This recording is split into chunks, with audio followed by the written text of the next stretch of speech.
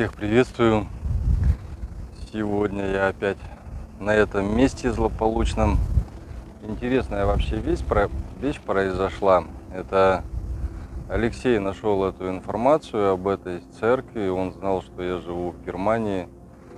Прислал мне информацию, и там на следующий день или через день я уже пришел сюда, сделал небольшой ролик. И он был крайне удивлен, как оперативно как это я умудрился. Он не знал просто, что я тут живу, в этом городке. Буквально тут 10 э, минут, и я уже тут на месте. Э, в общем-то, церковь очень интересная с этим органом. Я бы эту, то, что он там звучит, не назвал игрой, я бы, наверное, это назвал скорее воем. Сейчас мы подойдем, послушаем. Она действительно воет. Я сегодня просто приехал посмотреть, убедиться, когда она откроется, чтобы я мог попасть внутрь и все это посмотреть своими глазами, ну и, соответственно, показать вам.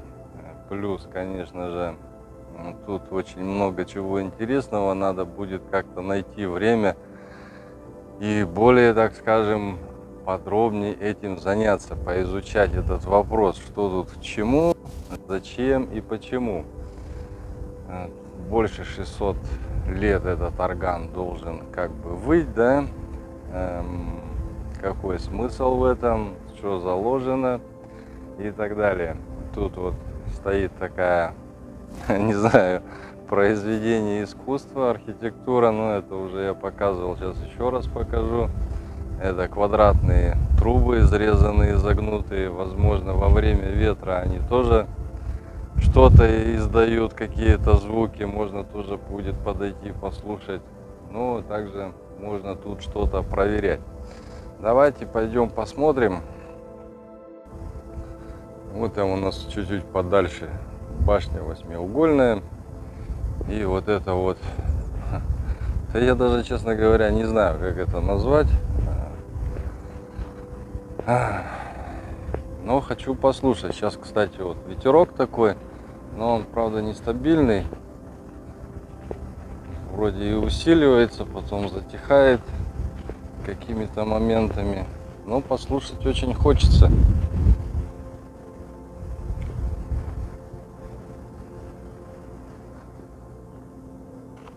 О, да, это такое впечатление, что это усилитель для этого органа вот этот вой я конечно понимаю что тут я не запишу скорее всего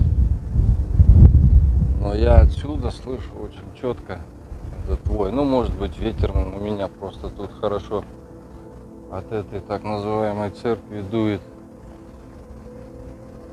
Да интересно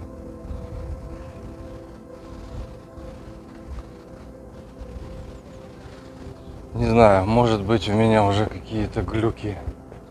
Давайте ближе подойдем. По-моему, в тот раз я у двери там записывал этот звук воющий. Сейчас попробую у окна. Тут уже как бы все они долепили.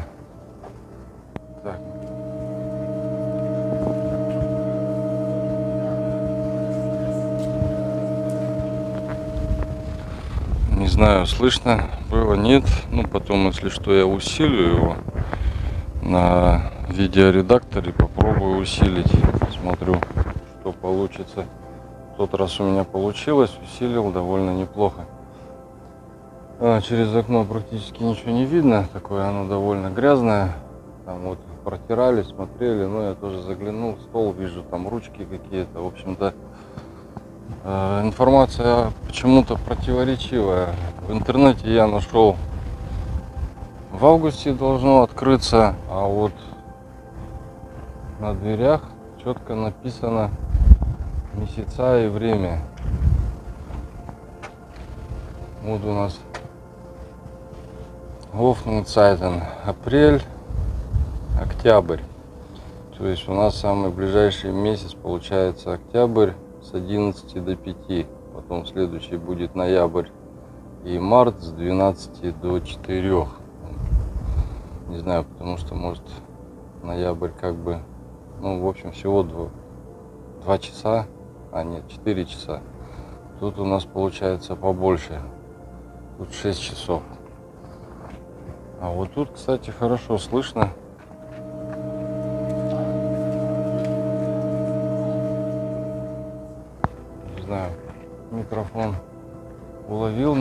Уловил. Попробую потом тут тоже усилить вот этот вой.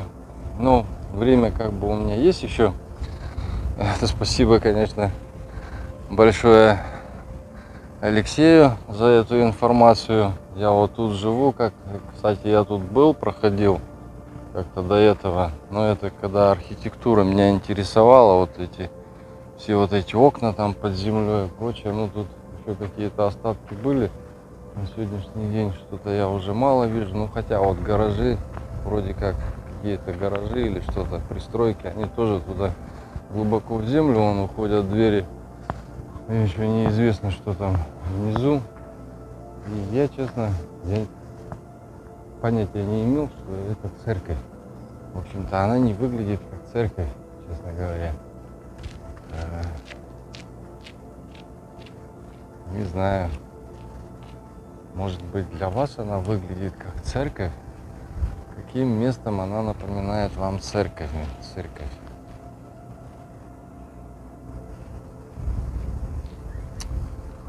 Ну, да, я понимаю, что там доступ тоже будет ограничен, скорее всего. Там я вижу два этажа и очень высокий этаж, какие-то тут ниже окна замурованные, может быть даже три этажа тут. А так непонятно, если с этой стороны я смотрю, допустим, с этой вроде выглядит как три этажа и там, ну, чердачное помещение, скорее всего. Но с этой стороны видно четко, что три этажа. А вот тут как-то окна слишком низко получается. Там вообще вроде дверь была, что ли. Что-то очень большое. Или окно такое огромное. Или окно потом сделали в двери.